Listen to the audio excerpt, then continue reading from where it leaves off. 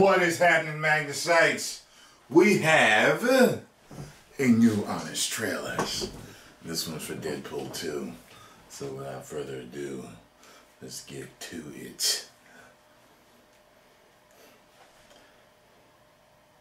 After Deadpool 1 came out of nowhere and made everyone lose their fing minds, a sequel will rise that's just as good, if not better, making audiences everywhere say, eh, this one's good too. It's like having a surprise party, but this time it's not a surprise, and it came three weeks after a funeral. Deadpool 2. In a world where Wait, wait, wait, wait, wait, wait. Hold the door. Hit the brakes. Cut. Deadpool? No, it's Banksy. Would you like to buy a painting? Yes, it's fucking Deadpool. Let me guess where you're going with this one. In a world where blah blah Disney, blah blah TJ Miller, blah blah blah, pretending to give a shit about Shatterstar. Hey, that is not what. Yeah, yeah, you're right. That's pretty much what we're gonna say. Why the fuck are you even doing Deadpool 2? Listen to your commenters and tear Coco a new asshole already. But Coco's a really sweet movie. And Deadpool 2 isn't? All right, f- nuts. Hit it, Blind Al. Uh, What's happening? Uh oh.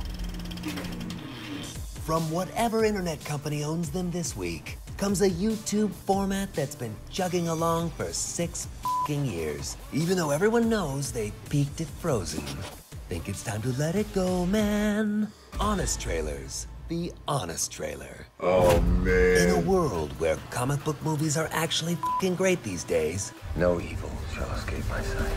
well, most of them. Watch these nerds find one logic gap and pretend like it ruined the whole movie. Well, actually, if Cable changed the future, he wouldn't have to travel back in the first place?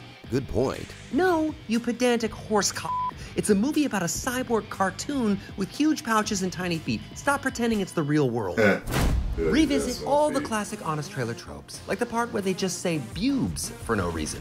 Actually, we kind of moved away from that. Smart choice. The part where their slower fans keep requesting trailers for movies that are still in theaters, unlike Deadpool 2 Super Duper Cut available now on Blu-ray and digital. And the starring section, which actually isn't bad, but my movie did it way better. Like half of yours are just bad puns. Joe Pepsi, Gary's niece, Beverly Hills Club, uh, Helen Rearview Mirren, Carlise Theron. Oh yeah? Well, uh, you stole our Jesus joke. Though I'm talked about in the same sentence as Jesus. Passion of the Christ, then me. Deadpool is the highest grossing R-rated movie of all time, except for Jesus. That I said. On our video. I do not need to be here. I could be playing Fortnite with Drake, Ninja, and Mike Pence right now. Sorry, sorry, my bad. Carry on. Starring Nobody you've ever heard of. Dead Horse. That made me all kinds of turgid. I don't know. Seemed a little harsh. I mean, we have been nominated for three Emmys. Wait, what? Three Emmys? Really? Oh, come on. This is a fucking outrage. We're done here. Wait, don't go. Eh, he'll be back for Detective Pikachu. Alright, so I had uh forgotten actually last night when I pulled this up, I noticed it said featuring Deadpool, but I forgot when I was watching it. So when he started to take over, I was like, wait a minute.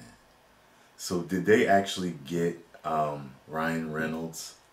Uh, thank you again to the radiant unicorn fart that is Ryan Reynolds. He truly is a treasure, and we are all not worthy. So I guess he did lend his uh, voice acting to it. He um, because it's funny because you could kind of you could hear the difference whenever his voice came in. Like I'm wondering where he recorded it because I could tell. It was almost like Ryan was like, "All right, let me record this on my phone. I'll send you all the files, and I'll talk to y'all soon." Does it sound like because you could hear the you could hear a difference when his voice came in, like the in the background. Like y'all know what I'm talking about when it comes to recording voices. Anyway, that was good. That was good. That was good. Um, I'm gonna have to go get me my Blu-ray on it. Although I like the first one better than I like the second one. I really did. Something about the second one, a little convoluted at times. It just uh, didn't flow like the first one did.